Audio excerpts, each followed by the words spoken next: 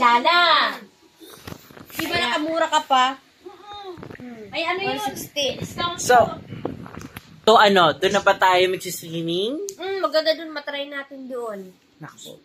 Ganda doon? Grabe, alam nyo, nagpa-bago pa ako ng buhok para lang saan, outing na ito. Alam nyo, darating na ang Halloween, kaya dapat excited na tayo. Ah, mm. ano? Saan? Saan? Niya. Saan nakakatakot? Doon, nakakatakot.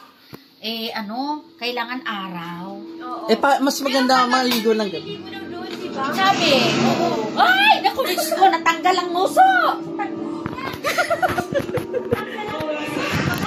Ano ba yan? Trick or treat! Happy Halloween! See,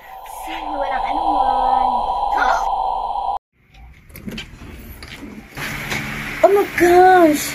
Ito pala yung pakiramdam ng sikat na influencer na merong 1 million views, like and share. Ang sarap sa pakiramdam. Ay, Beshi! Napanood ko na talaga. Ang sikat mo talaga. Oh my God! Hindi ko alam na ganun ka ka Sobra. Ang galing natin, Beshi. Natin? Anong natin? Ako lang. Ako lang magaling. Bakit ka naman ganyan, Jellybean?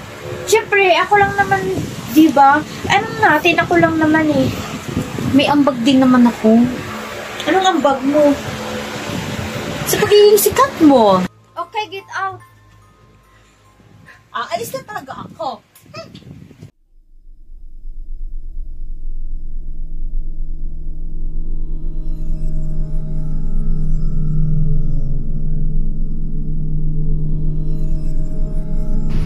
Trick or treat!